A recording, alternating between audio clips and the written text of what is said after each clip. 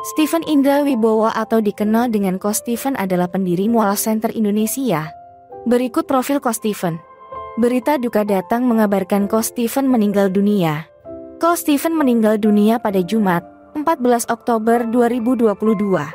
Ko Stephen meninggal dunia tanpa disertai dengan gejala atau sakit apa pun. Hal itu dijelaskan oleh Agung Heru Setiawan pengurus Mualaf Center Indonesia. Ko Steven tiba-tiba tumbang setelah sholat isya dan langsung dilarikan ke rumah sakit Wonokromo, Surabaya.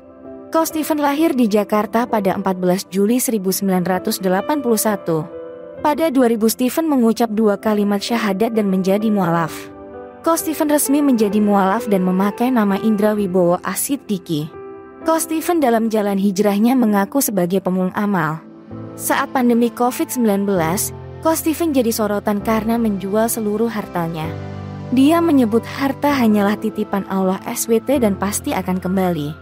Sampai akhirnya Ko Steven menjual dua rumah, tujuh mobil dan tiga motor gede miliknya selama pandemi dengan harga lebih murah dengan tujuan bisa membantu penanganan COVID-19.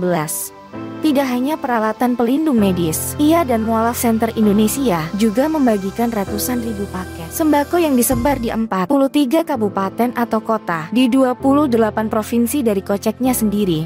Selain dikenal sebagai pendiri Mualaf Center Indonesia, Ko Steven juga pendiri Dompet Madani dan channel YouTube Vertizona TV. Akun Instagramnya memiliki sekitar 94 ribu pengikut. Dalam setiap unggahannya, Ko Steven banyak mengajak untuk sedekah dan membantu sesama.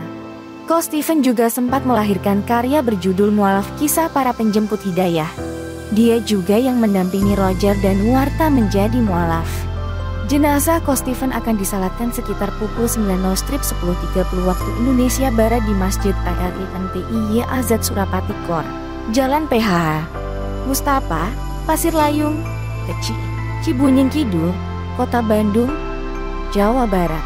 Kemudian jenazah akan dimakamkan di Firdaus Memorial Park Ujung Berung, Bandung.